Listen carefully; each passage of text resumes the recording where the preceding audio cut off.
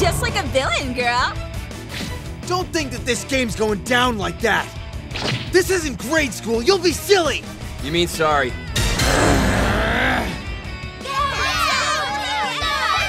Nobody realizes that the secret to winning in bowling is that you first have to read the oil on the lane.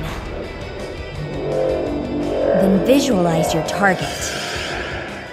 And finally, you inject that motivation! Now prepare for death!